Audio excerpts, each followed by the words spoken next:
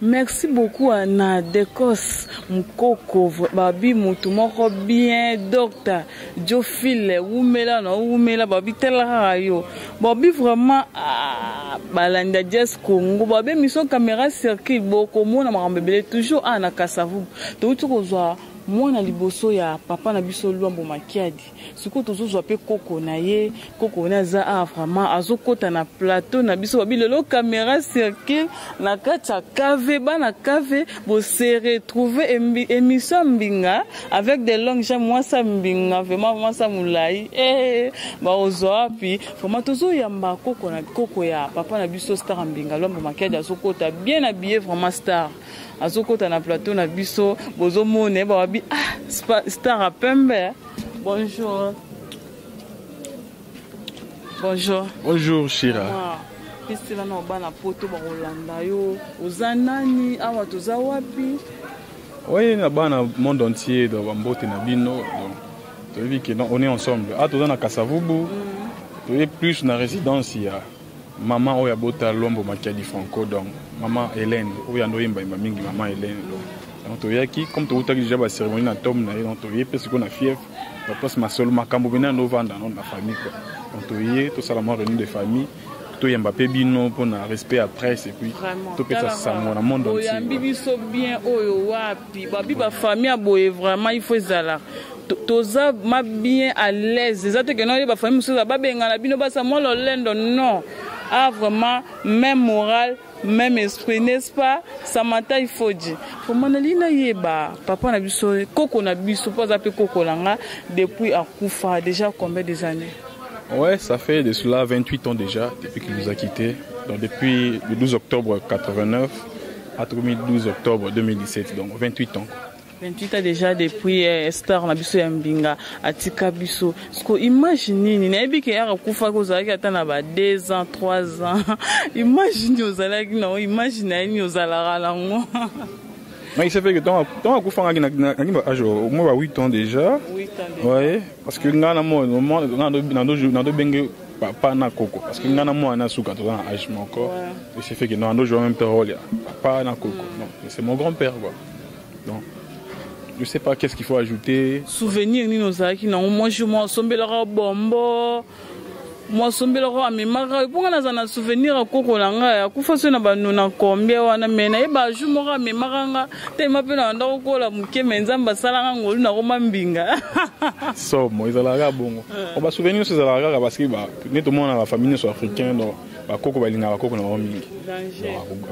akoshushuter bino akosala tout eza possible mpo bozala lese quoi donc vraiment bon souvenir plus eza yango wana et puis surtout mm. éducation bonayana plus respect et puis taka yaki éducateur ya masse et puis surtout les études nde azali vraiment kose base na plus na baétude et puis soki osisi baétude nde puis akota ye mona yango pistonnier touti ozwa mama na biso alobi na bana musicien abimi te mai na bakoko yo nde vraimen ozoderange ye ozoderange ye nayebi ke eza ya makila mai ezosala ye vraiment bien te ozoderange ye parceke eza nde yo nde olingi oremplace lwambo makiadi to deja oremplace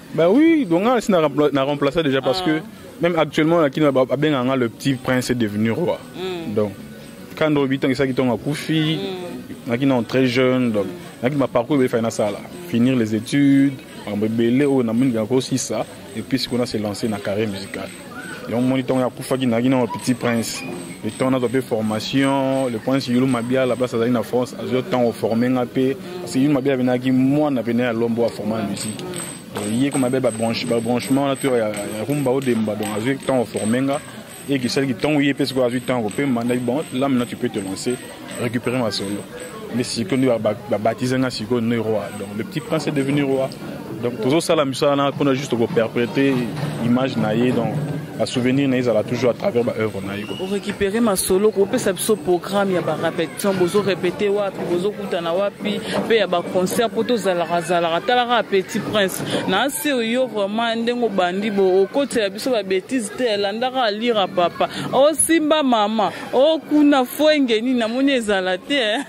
oui, donc j'ai vraiment ezala te ah. parce que quand on est biso tozolanda bina lignée wana. Mm. Donc quand on parle de de, de l'héritage, héritage ko zo héritage te po obebisa na ndenge na yo. Mm. Tant que héritage si bien ko bakisa moi moi bloc na yo yebi mais To gardera toujours ligne wana po vraiment ba ba se référera toujours tant muta oga musique na oui non ata ba thème abeti vraiment thème lokola aide parce que l'homme utile waza irremplaçable donc ata to beti ba thème lokola aide mais caché wana et puis to kolanda ka mbaka na donc bêtise bena tout ça surtout tozo combattre ne bena bêtise po yango ne biso boma mœurs ya mboka na biso puis ya culture na biso congolaise Comment John Yaipi, John Yaipi, garçon sexy. Bobby caméra circule, émission Mbinga avec votre humble servante Shira Bakayamba des langues j'aime vraiment bazwe pe bakozwa wapi. Tozaka ah vraiment na cave tozobeta masolo ya papa na biso eh, star Mbinga oyo atika biso. Siko programme eza ndenge nini ya groupe bozo évoluer ndenge nini? Un programme là jusque là tout travailler en coulisses mm. parce que comme toujours préparer studio pour tout lancer puis œuvre en anglais mm. album na ngona au banda ka ba yinga na pesa on jakombo héritage mm. na yebo na récupérer eh, héritage héritage ngana ozanga libanga te vraiment tala ka shira ba kayemba ozanga te vraiment des longues jambes ya mbinga donc akozanga te ah. donc toujours préparer dans l'album na ngai donc d'ici là peut-être si ba décembre déjà to lancer ils en a combien de titres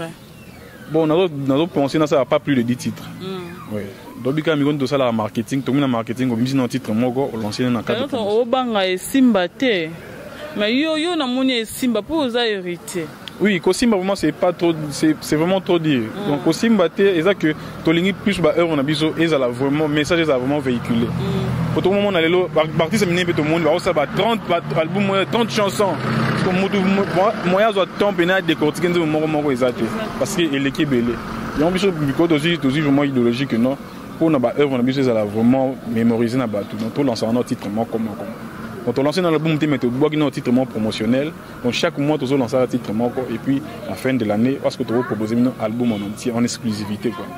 Mais d'ici décembre, on a un album héritage pour OCP.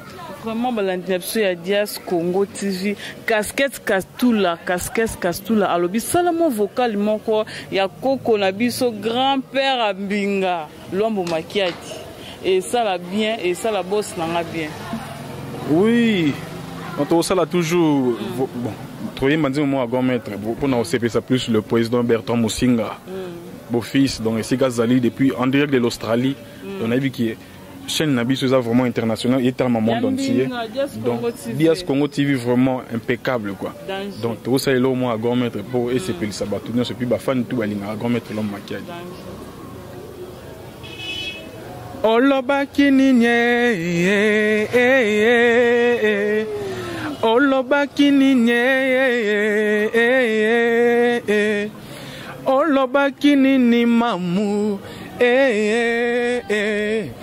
olobaki nga nafundaka yo na mobali na yo olobaki nga nasalaka kisefe na libala na bino madilu tika ye alobalobalobaloba e makambo ye asalaka shira amonaka ye bakindumba nyonso ye asalaka bashofeur taxi bamonaka ye mpo na nini ya panza yo sango alobi yo osalaka kisefe donc yango wana okwapo ah, ah, ah, nalingaka kobina me nasi na concert na ozanga te mpo nga na ozala wana mpo nabina vraiment nos chers téléspectateurs de dias congo tv babi chaine ya mbinga émission ezalaka kaka moko na kati ya dias congo tv tokomidaka koshite na fin émission na biso mwa badédicace na balandi oyo bakolanda yo eh, bayebi ke koko ya grand musicien ya mbinga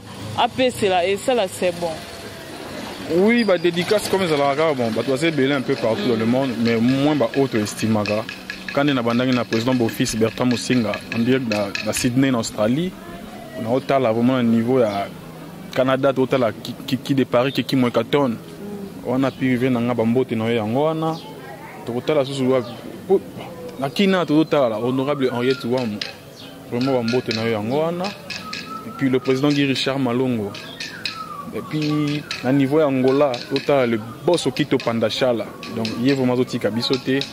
Bon, na bato nyonso balingaka biso vraimen boza ebele soki tobandi kotanga ebiki no ekosila ti lobi donc bato to balingaka biso donc bocontinue kosoutenir ngai mpe naye koperprete œuvre ya grand maître donc soutien esalaka bien mpo tozongisa musique wana vraimen na niveau oyo ezalaki mpona honneur ya culture congolaise quoi Merci beaucoup. Nous sommes déjà à la fin de notre émission Caméra Cirque. Babi le qui t'a qui n'a cavé. Vraiment merci. Na balandi au bolanda. Biso bibo benga nga ba remarque. Ba appel na bini sala nga c'est bon vraiment. Wana ozo pesa ya ngai batu na nga ba mbote. Babi Sandrine yalala.